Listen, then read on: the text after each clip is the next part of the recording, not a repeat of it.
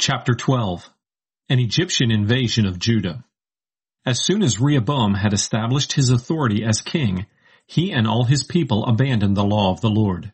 In the fifth year of Rehoboam's reign their disloyalty to the Lord was punished. King Shishak of Egypt attacked Jerusalem with an army of 1200 chariots, 60,000 cavalry, and more soldiers than could be counted, including Libyan, Sukkite, and Ethiopian troops. He captured the fortified cities of Judah and advanced as far as Jerusalem. Shemaiah the prophet went to King Rehoboam and the Judean leaders who had gathered in Jerusalem to escape Shishak. He said to them, This is the Lord's message to you. You have abandoned me, so now I have abandoned you to Shishak. The king and the leaders admitted that they had sinned and they said, What the Lord is doing is just. When the Lord saw this, he spoke again to Shemaiah and said to him, because they admit their sin, I will not destroy them. But when Shishak attacks, they will barely survive. Jerusalem will not feel the full force of my anger, but Shishak will conquer them, and they will learn the difference between serving me and serving earthly rulers. King Shishak came to Jerusalem and took the treasures from the temple and from the palace.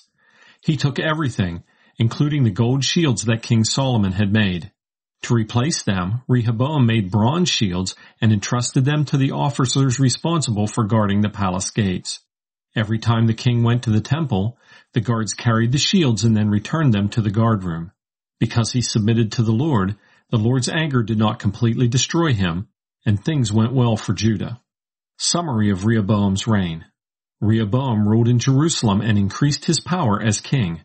He was 41 years old when he became king, and he ruled for seventeen years in Jerusalem, the city which the Lord had chosen from all the territory of Israel as the place where he was to be worshipped. Rehoboam's mother was Naamah from the land of Ammon. He did what was evil, because he did not try to find the Lord's will. Rehoboam's acts from beginning to end and his family records are found in the history of Shemaiah the prophet and the history of Iddo the prophet. Rehoboam and Jeroboam were constantly at war with each other. Rehoboam died and was buried in the royal tombs in David's city, and his son Abijah succeeded him as king.